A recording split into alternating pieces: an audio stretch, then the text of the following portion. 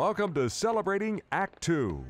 Celebrating Act Two is the user manual for the second half of your life. Welcome back to Celebrating Act Two.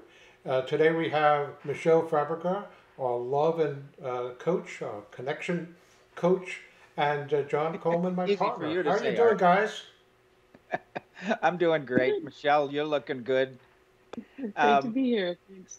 As our uh, as our love and relationship coach, a lot of people read into that sex. It's the subtext: love and relationship. Sex, sex, sex, sex, sex, sex. That could be me, right, Art? I, I'm always talking about sex. I don't know. You, oh, Anyway. to me, every third word. anyway, um, sex is a really difficult subject for a lot of people. Um, it's uh, it's touchy, to say the least, and um, society has kind of uh, um, s- restrictions on how we uh, discuss sex and talk about it, which is, makes it really important for you and us to be able to talk frankly about uh, sexual uh, sex and sexual relationships of all kinds. Um, including those that are not necessarily governed by religious morals or or anything like that. So, uh, but sex is so special. You can understand why a lot of people consider it sacred. Hmm. Yeah, I mean, I think that uh, I- think it is sacred personally, and yet I also think that many people don't hold it that way. They see it as maybe some way to gratify our needs, or it's like you know we're kind of we're we're, be, we're being animals rutting or something like that. And and there's nothing wrong with holding sexuality to be that way, and people can enjoy sex that way as well. But I think there's also, like you said, there's something can be viewed as very sacred, and it's really um, it's a kind of a part of every spiritual tradition around the world, and it really acknowledges that our life force and our sexual energy comes from the same place. It's like there's this um, we can bring this awe and wonder to our sexual expression with another person, or even with ourselves for that matter, and to um, you know to kind of transcend our ego and our personality and our differences. It's a way to kind of become one with our partner and to you know become whole, even you might say. Uh, that's interesting because uh, it, when you say become one with our partner, you know, there's that physical aspect of sex that has been alluded to in, you know, books uh, for thousands of years. Um, that it is a, a coupling, you know, that it is really, it does transcend the physical. Um, and I think that's why uh, a lot of people consider it sacred, um, you know. But you're i think you're saying that sex could be considered sacred by those who don't have a religious tradition Right. Yeah. And it's also just another component of how to maybe enjoy oneself sexually. So, you know, there might be the way that, you know, you get hot for each other and you're horny and you want to, you know, you want to get entangled and, and enjoy each other in kind of a, maybe there's a, you know, there's kink and there's all kinds of, all kinds of play and role play and whatever. And so there are many ways to express oneself sexually. But one of the ways also is to hold it as like i said sacred or um you know to bring about like reverence to your partner and and love and just like love just opening your heart and being really present with each other. So that's a just another way to basically commune with your partner. And maybe it doesn't involve is you know there's not a goal here right? Um, and generally when i we've done other videos around sexuality really invite people to you know drop the agenda and drop the goal. We're not like ooh can we touch the divine today? You know or have some special magical experience where we saw stars together and and i don't mean to make light of it because some people do have really you know profound experiences of you know drifting or floating or flying. I mean you know it's it's not unusual. And some people can even have you know orgasm without even any touch like just through breathing with another with their partner so there are many ways to cultivate this capacity and um, sometimes it um, i mean it sounds a little maybe a little woo woo and out there and like and yet there are people who practice that. They're you know special practitioners who uh, train you know workshops and books and things like that. So I kind of just want to open people's you know possibilities. This is also on the menu as something to explore with your partner or You know, it's yourself. kind of interesting. Uh, uh, a recent movie, recent probably five or six years ago, with George Clooney uh, having uh, an affair with various people because he was always in airports and he was always flying around. Uh, Mm, I saw that uh, movie. Yeah. Yeah, I did And it too. Yeah, a great- good movie. and uh, but eventually he uh, he fell in love with the uh, the other protagonist uh, in the movie, and she didn't Vera want to have Farmiga. anything to. Yeah. Yeah, she didn't want to have anything to do with him because when he showed up at the house because she was married and had a family, and so she was having casual, fun sex with him. Uh, but it was it, it certainly was the anti-sacred sex.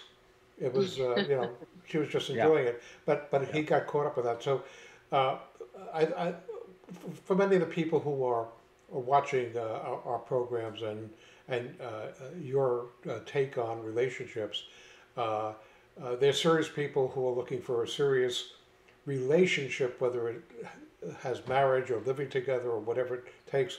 But you're saying that it's okay, uh, what I'm hearing you, to have this uh, sacred sex relationship with a partner who was probably somebody that's later in life your partner as opposed to an original partner earlier in life in, in your act two. Is, am I hearing that uh, correctly from you?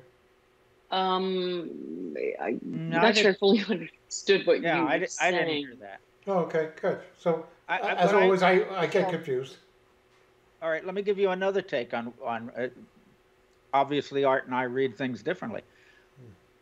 What I got was that you were saying that whatever your uh, attitude is towards sex, we should consider making it special. I'm using the word special instead of sacred. Yeah. right? So, you know, if you elevate sex in your life to something that's sacred, almost sacred, so special, um, you're going to treat it differently. You're going to treat your partner differently. Is that a little closer to what you're trying to say? Yeah, yeah, but I guess I want to think, I want to see it as like a both and. So whatever you're enjoying sexually, keep at it, you know. And here's another way to view it and another way to experiment and experience, you know, connection with your partner. And so it's about, you know, really tuning into them, tuning into their breathing, their um, their uniqueness, um, you know, feeling your love for them. It's kind of like in a more like a tender and reverent way. So I'm not saying whatever you've been, you know, keep on enjoying what you're doing. This is just another way. And I mean, I, if you would talk to me, you know, 20 years ago, I'd be like, what are you talking? Sacred sex, huh? You know, how can sex be sacred? I, it- you know, I didn't understand it. So I guess I want to, you know, bring this possibility as another another way to play and experience um, love and connection with your partner through sex. Sure, sure. Well, you know, sex is so um, complicated. I mean, it's obviously a physical um, act, but it's also a mental act. It's an emotional uh, act. Um, you know, even booty calls or or unemotional connection sex, um, hooking up, whatever you want to call it. y- You can't deny there's an emotional um, component there. And so, you know, it's the attitude. I think what you're saying is the our attitude towards sex can affect our our enjoyment of it, our practice of it, how we do it, who we do it with. And that's what we're talking about here. We're talking about attitude. If you consider it just a a physical thing, that's one one way to have sex. If you consider it sacred, you you're going to have a different experience Absolutely. your sex. Right. And if And you bring that intentionality, sorry, go ahead. You know, I, I'm- I'm just trying to interpret. I, I'm I'm really reflecting on what you're saying, which is what I love. By the way, I love I love our sessions because they really make me think and they make me analyze things that I probably wouldn't otherwise think about or or try to figure out. I think what might Uh, be interesting is if our viewers, uh, since this has so many ways of being interpreted, we'd love to hear from our viewers on um, Yeah. uh, what was the main message that you get from it, uh, besides the fact that uh, Michele tends to have us look at all things as something that we can get something positive out of.